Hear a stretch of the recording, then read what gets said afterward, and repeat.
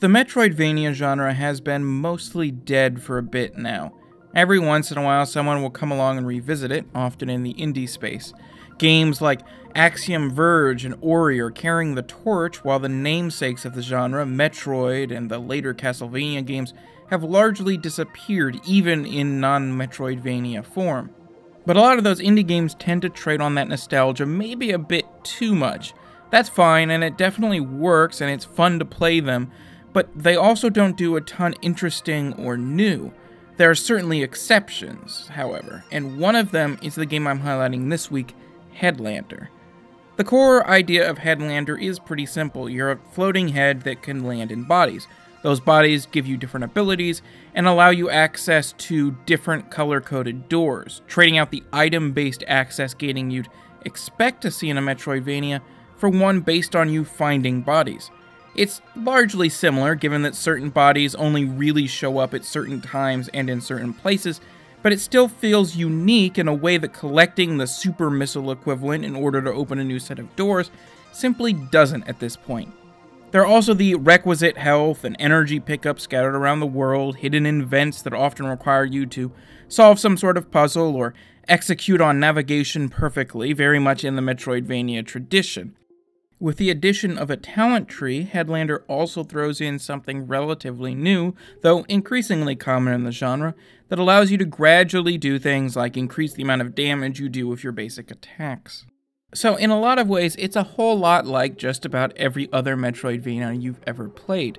But it does have some distinguishing features that set it apart, that make it more than just another one of those. Most notably, of course, is this game's style. One of the things Double Fine has always been incredible at is creating games with cohesive themes, and Headlander's 1950s retrofuturism is no exception.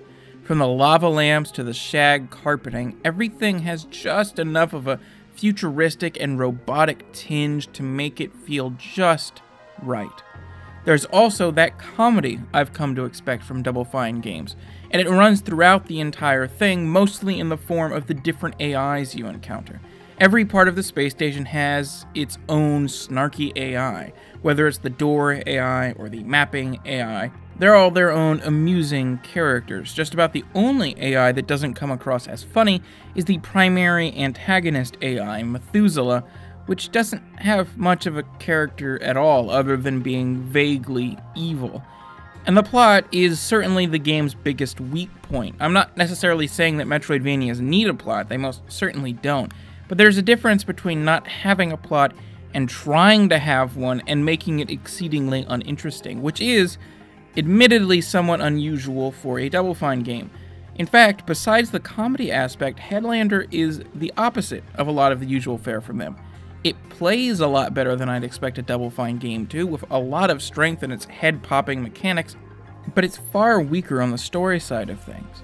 Still, despite that bit of weirdness, Headlander is absolutely a fantastic Metroidvania game with just enough twists, both stylistic and mechanical, to make it unique, interesting, and something I absolutely recommend checking out. On In Case You Missed It, I look at games that were either ignored when they came out or have been forgotten since. Games that a lot of people have missed. If you like that idea, be sure to subscribe so you can see the latest videos. If you like this video in particular, be sure to hit that like button, and thanks for watching.